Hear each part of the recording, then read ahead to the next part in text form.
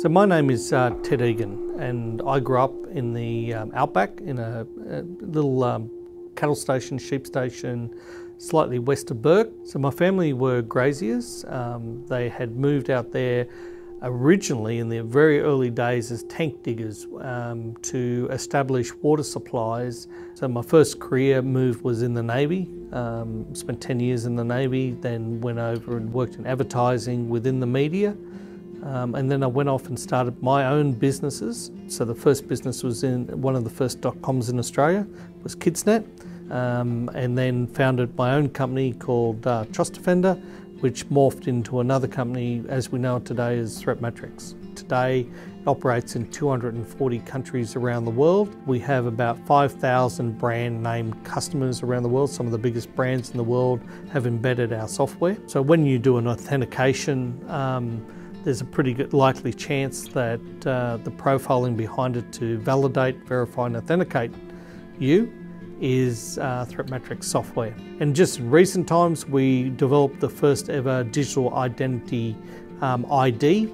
So globally um, it was a digital ID that can, like your digital DNA, to help organisations uh, accurately and contextually validate, verify and authenticate a customer in real time especially as we um, move into an IoT type world, a purely digital world.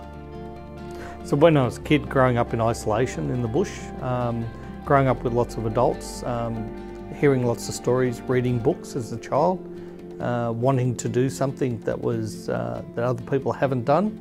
You know, when you do that, you, you kind of strive to break the boundaries. You don't know what you don't know when you're a child, and and it's always been with me if someone said I couldn't do something, I would try and do it. You know, even my dad said many times to me that I, you know, was never able to do things or I couldn't do things. So I always wanted to prove everyone wrong. Doesn't matter what I do in life, it's the same thing.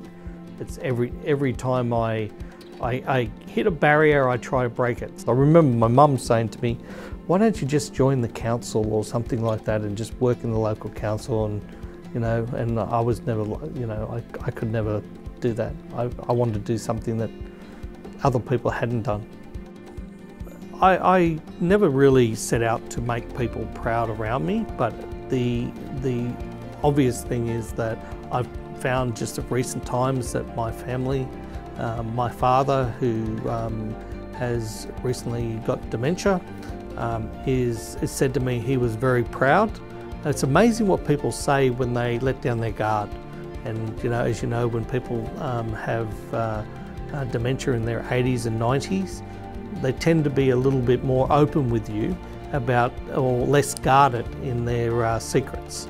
And they tell you things that, that you were not expecting. And that's really nice.